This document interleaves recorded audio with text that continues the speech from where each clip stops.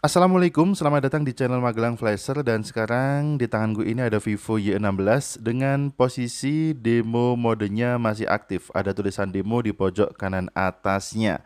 Mungkin ini stok lama ya, masih ada demo mode Y16. Kita cek dulu di pengaturan kemudian di tentang telepon. Betul ini Vivo Y16 untuk informasi perangkat lunaknya. Kita cek dulu. Update keamanan Android ternyata masih di 1 Agustus 2022. Jadi update keamanan yang masih lawas. Kita akan coba untuk menghapus demo mode pada handphone ini dengan cara yang paling mudah. Sebelumnya handphone kita matikan dulu. Kemudian setelah handphone berhasil kita matikan, siapkan kabel data yang bagus.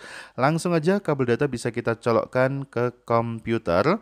Kemudian kita akan bergabung dengan tampilan Windows kita untuk kita siapkan aplikasi penghapus demo demonya. Di sini aku menggunakan Android Utility Tool. Ini versi gratis tanpa harus menggunakan dongle. Kita klik kanan, kemudian ekstrak di sini atau Biar jadi folder, cara ekstraknya adalah klik kanan, kemudian ekstrak to. Nama filenya untuk password ekstraknya adalah MFDL, huruf kecil semua. Kemudian kita klik OK dan kita tunggu sampai filenya terekstrak menjadi folder. Untuk filenya bisa Anda download, langsung aja cek link download yang sudah aku taruh di bawah video ini pada kolom deskripsi. Kemudian setelah terekstrak, kita buka foldernya dan kita tunggu sebentar, masih ada loading working it working on it. Kita tunggu ya, maklum ini komputerku versi jadul jadi masih agak lemot.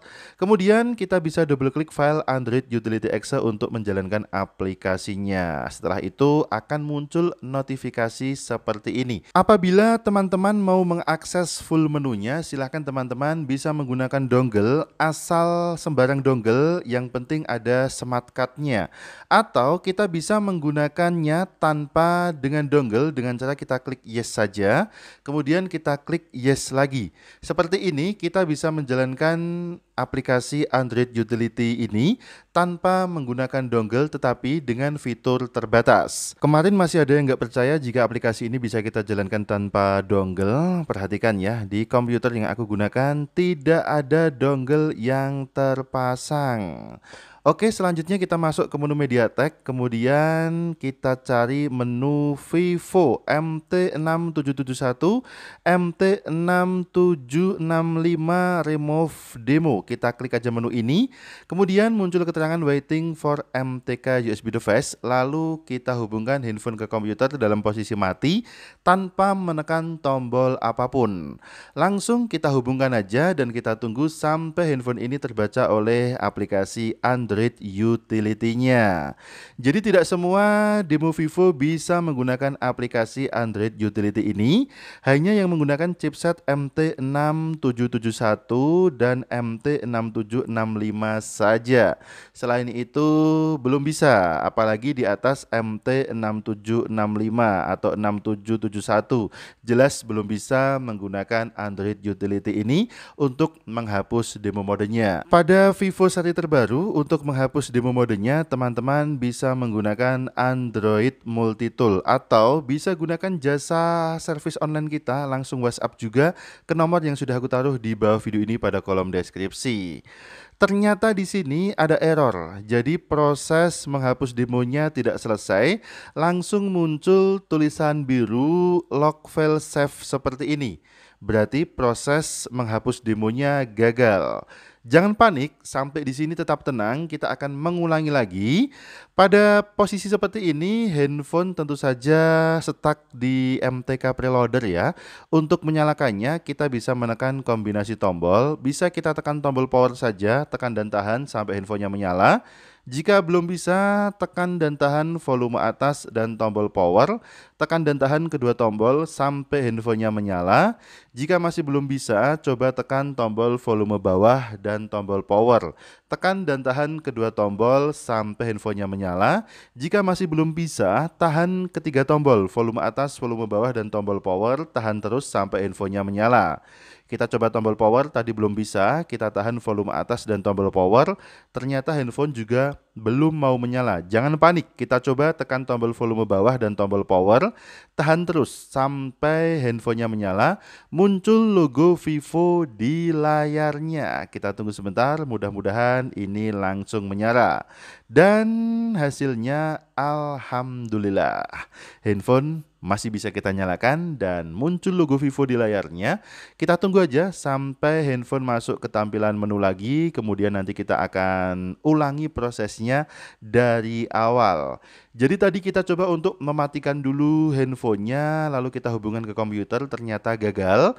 Dan di sini tulisan demonya juga masih ada pada handphone ini. Kita coba sekali lagi.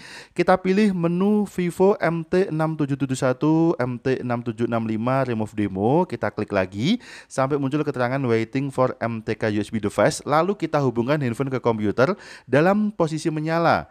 Kemudian kita restart handphonenya. Kita tekan tombol power, kemudian kita pilih mulai ulang, bukan kita matikan ya, tapi kita restart, lalu kita letakkan handphonenya dan kita tunggu sampai handphone terbaca oleh Android Utility Tool-nya. Setelah handphone terbaca, kita tunggu sebentar sampai proses menghapus demo modenya selesai. Kalau sudah selesai, keterangannya seperti ini. Jadi langsung muncul lognya dengan folder Vivo Demo BK. Kemudian ada keterangan disable demo mode dan rebooting device dan. Jadi setelah selesai proses menghapus demo modenya, maka handphone Vivo akan otomatis restart menyala lagi di tampilan logo Vivo. Ternyata prosesnya juga sangat cepat ketika handphone sudah terbaca oleh aplikasi Android Utility-nya, tidak sampai 10 detik sudah selesai, langsung muncul keterangan disabling demo mode, lalu rebooting device dan. Tinggal kita lihat hasilnya aja apakah demo mode pada Vivo Y16 ini sudah berhasil terhapus atau belum. Kita kembali ke tampilan handphonenya dulu. Oke, kita tunggu sampai proses loadingnya selesai dan ini dia kita lihat hasilnya. Kita angkat handphonenya, eh hampir jatuh. hampir aja jatuh. Oke, kita lepaskan kabel datanya. Kemudian bisa kita lihat tulisan demo di pojok kanan atas layarnya sudah hilang. Yang artinya demo pada handphone handphone Vivo ini sudah berhasil kita hapus. Kemudian kita cek sekali lagi di menu pengaturan.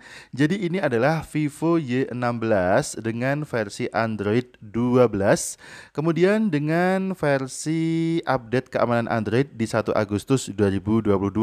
Untuk versi keamanan terbaru, aku belum tahu apakah masih bisa menggunakan Android Utility atau tidak. Oke, terima kasih sudah menyimak video ini. Mudah-mudahan bermanfaat. Sampai jumpa di video selanjutnya dari channel Magelang Flasher.